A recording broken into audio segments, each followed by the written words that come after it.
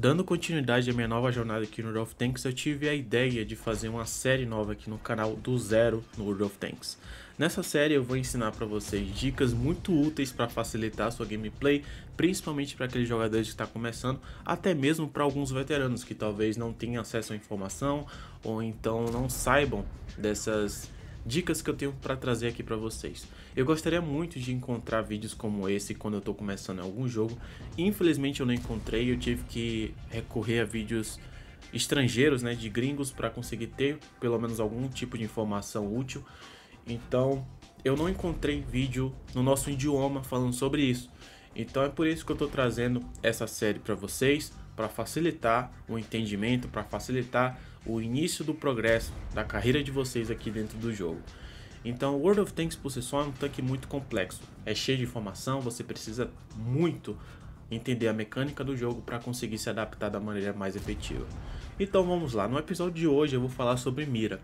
Se esse vídeo tiver uma boa repercussão, se vocês gostarem muito, eu posso trazer um vídeo completo ensinando todas as configurações do jogo, como você deve configurar da maneira mais eficaz. Mas para isso, claro, eu preciso do feedback de vocês e também de um tempo, né? Porque eu comecei agora no jogo, então eu estou estudando a mecânica, estou vendo todas as configurações possíveis, então eu vou precisar de um tempo também para trazer informação para eu, eu ter a experiência necessária para passar a informação mais completa para vocês aqui. Mas claro, eu posso recorrer a alguns youtubers já que são do PC, que já tem uma experiência formada lá, que podem passar uma dica para mim e eu conseguir transferir isso aqui no nosso canal. E eu gostaria de aproveitar e agradecer ao meu amigo Destroyer que mandou o Renegade para mim de presente. Cara, muito obrigado pelo presente. É um dos tanques que eu mais tinha vontade imensa de ter, porque ele foi lançado no console completamente nefado, esse Renegade aqui. E infelizmente eles colocaram ele numa versão autoloader, porque a versão single shot, que era para ser a principal dele, foi nefada lá no console. Ele está recarregando em mais de 10 segundos. E aqui no PC ele recarrega em pouco mais de 8 segundos, então o DPM é muito maior.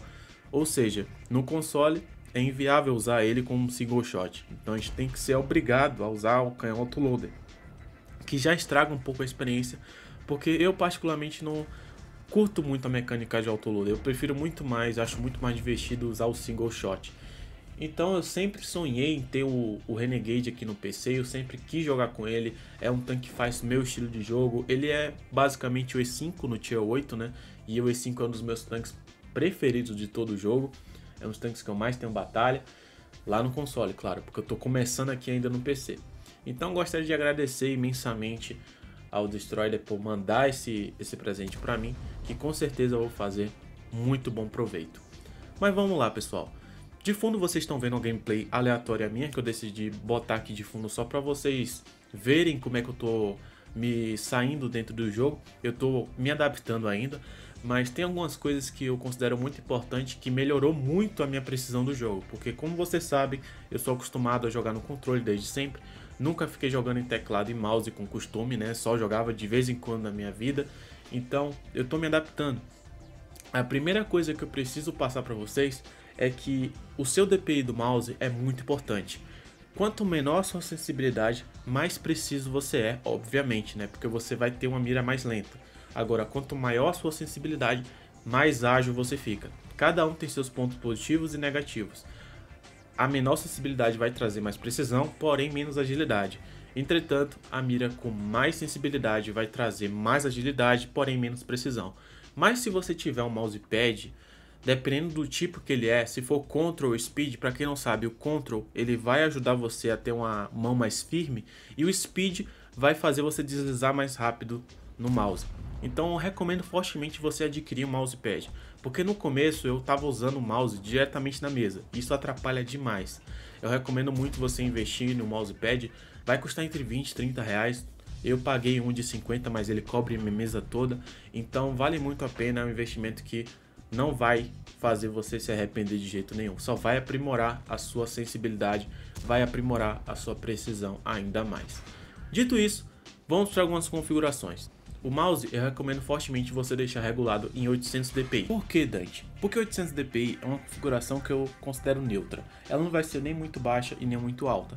Então, como a gente vai fazer as configurações dentro do jogo também em relação à sensibilidade, eu preciso que você deixe o seu mouse neutro, entende? Porque a gente vai fazer a configuração da sua mira externa e interna. Então, cada uma delas tem uma sensibilidade diferente. Então, para o jogo em geral, você precisa colocar uma configuração neutra, pelo menos na minha opinião, é a maneira mais eficaz. Então, 800 dpi eu considero adequado. Mas vamos lá para a garagem que eu vou mostrar para vocês todas as configurações relacionadas à mira que fez total diferença da minha gameplay. Estamos aqui dentro da garagem e vou mostrar para vocês a configuração que eu considero perfeita para sua mira. Vamos lá. Começando pelos gráficos que eu considero muito importante. World of Tanks é um jogo com bastante efeito. Então, diminuir eles vai melhorar muito o seu campo de visão, principalmente na mira sniper. Então, o que realmente importa é o seguinte: qualidade da vegetação sempre deixo no zero, densidade da grama também. Transparência da folhagem e exibir a grama no modo sniper. Isso aqui atrapalha demais, você deixa desativado. Agora vamos para a parte de efeitos. Essa aqui você tem que desativar, efeitos extras no modo sniper. Tudo isso você deixa desligado, porque isso vai poluir muito o seu visual. Outra coisa muito importante é o marcador. Marcador não, o contorno na mira. Você vai colocar a versão simplificada, porque tem alguns tanques que tem skins. Então vai atrapalhar um pouco a sua visão. Por exemplo, você não vai saber onde é que é a hitbox e onde é que é, é a skin. Então desse jeito aqui simplificado, você só vai ver o contorno do tanque, a região que você penetra. Tá vendo essa região aqui, ó? Essa região aqui, por exemplo, faz parte da skin. Isso aqui não é hitbox. Se você acertar esse quadrado aqui, não vai dar dano. Vai passar reto. Por isso que muita gente pensa que, poxa, o tiro atravessou o inimigo. Não, às vezes você passou o tiro em uma região que nem é hitbox do tanque. Então, dessa maneira aqui, você vai evitar de se confundir. Outra coisa que é muito importante é você colocar a área impenetrável, essa região aqui, que é a pedra, com preenchimento. Se você deixar nenhum, você nunca vai saber exatamente onde é que está a região do tanque que você vai conseguir é, penetrar ou não. Porque se ele estiver atrás de algum obstáculo, vai ser mais difícil ainda de você conseguir localizar os pontos fracos. Então, por exemplo, aqui eu já consigo ver que é o limite da minha mira no inimigo, essa região vermelha aqui, certo? Isso aqui vai facilitar e muito para você quando você for mirar em qualquer tipo de inimigo na sua frente. Outra coisa que você pode mudar aqui é a questão da mira em si, né? Eu coloquei dessa forma, eu acredito que essa forma é a mais eficaz para minha percepção, porque a cruz ela facilita bastante quando eu estou em terceira pessoa, eu consigo ter uma visão bem nítida de onde é que está apontada a minha mira, então eu consigo acertar muito tiro é, em terceira pessoa graças a essa cruz aqui, certo? E no modo sniper para mim não faz muita diferença, desde que você coloque o marcador de indicação de penetração. Sempre coloque isso, porque aqui, por exemplo, tá vermelho, quando o inimigo você não consegue penetrar, vai ficar vermelho. Amarelo quando tiver uma chance maior e verde quando você conseguir penetrar de qualquer forma.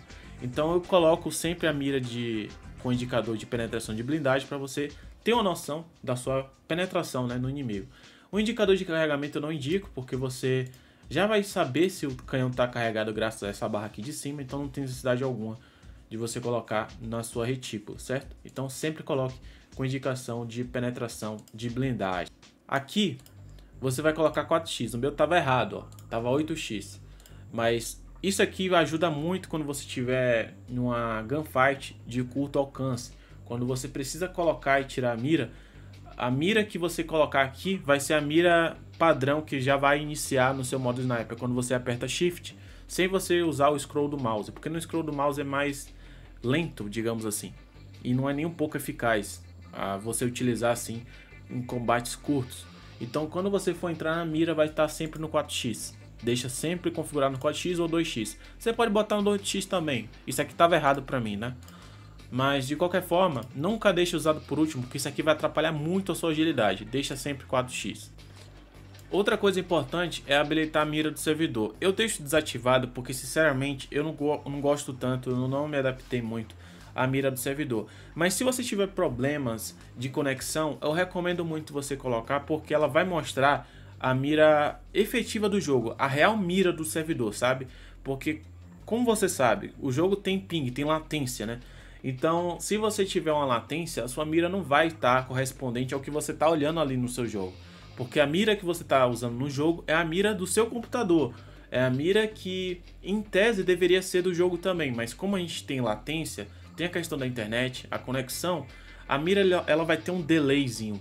Então, se você habilitar a mira pelo, é, pelo servidor, você vai conseguir saber exatamente onde está a sua mira dentro do jogo. Só que tem um lado ruim, né? De a mira ficar meio que bugada, ficar meio que lenta, então você vai ter um pouco mais de receio na hora de atirar, mas não se preocupe porque vai ser a mira do servidor, então onde ela estiver vai ser realmente onde ela está dentro do jogo. Eu não gosto de deixar habilitada porque minha internet é boa, então não vejo tanta necessidade e a mira dentro do jogo é mais fluida, né? Então eu nunca tive problema quanto a isso, mas se por acaso você tiver, habilite a mira do servidor que vai resolver seu problema de conexão, quer dizer, de latência, né? De você não saber onde é a mira, a mira tá exatamente. Agora vamos para a parte mais importante na sua precisão, que são os controles. Cada mira ela precisa ter uma acessibilidade diferente. Por exemplo, a mira arcade, que é a mira em terceira pessoa, você tem que deixar uma acessibilidade maior para você conseguir virar a sua câmera com mais rapidez. Porém, você não pode deixar tão alta. De padrão, a mira vem super alta. Ela vai vir com acessibilidade bem maior do que vocês estão vendo aqui. Então, para vocês terem uma precisão melhor e ter uma noção de jogo muito efetiva, você precisa colocar diferente sensibilidade para cada mira. A mira arcade, que seria a terceira pessoa, você tem que deixar um pouco maior do que a mira sniper no mínimo o dobro, né? Porque você vai precisar de agilidade também para ver os inimigos. Então, deixa pelo menos nessa região aqui que eu coloquei, uns 40% da barra toda, certo? Porque isso aqui vai ajudar bastante para você é, ter agilidade, para você travar a mira com mais facilidade, para você ver o inimigo no outro flanco. É muito bom você deixar nessa regulagem. Não deixa tão alto porque vai atrapalhar sua precisão de qualquer forma. A mira sniper, aqui você tem que deixar o mínimo possível. Se possível, você deixa até aqui, praticamente no zero.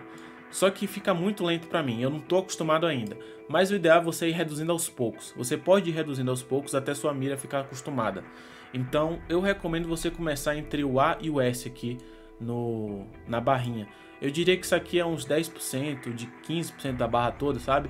Então eu recomendo você deixar o mínimo possível, porque isso aqui vai ajudar demais, cara, a você acertar cúpula, ponto fraco, é, esteira. Mano, isso aqui ajuda demais. Então para você aumentar sua precisão em 100%, coloque o mínimo de sensibilidade na mira sniper. Isso aqui é essencial.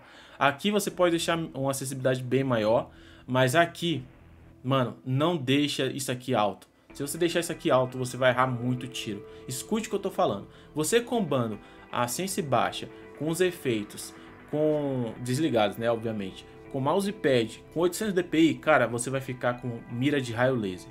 Confia na Cal, que isso aqui vai ajudar muito. Pronto, isso aqui é tudo que você precisa saber para sua mira ficar muito boa dentro do jogo. Isso aqui fez muita diferença para minha gameplay, eu comecei a acertar muito mais tiro do que antes com essas configurações. Então, isso aqui é uma dica essencial para você que está começando ou até para você que é veterano e não sabia disso. Se você tem dificuldade para acertar ponto fraco, tem dificuldade com agilidade, precisão, segue a Cal, pega essas dicas que vocês não vão se arrepender. Então, meus amigos, vou ficando por aqui. Eu espero que vocês tenham gostado. Esse é o nosso primeiro vídeo em relação a dicas para iniciantes, para quem está começando aqui no PC. Beleza? Vou ficando por aqui. Até o próximo vídeo. Valeu. Falou!